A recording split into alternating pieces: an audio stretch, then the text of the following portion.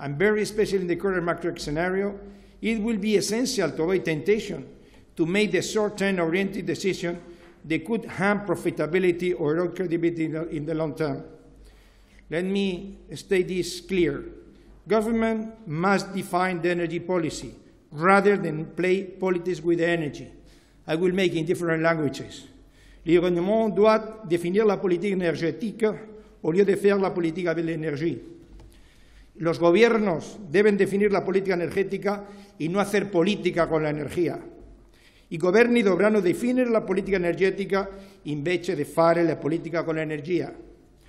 I could continue with many other languages where the situation is very similar.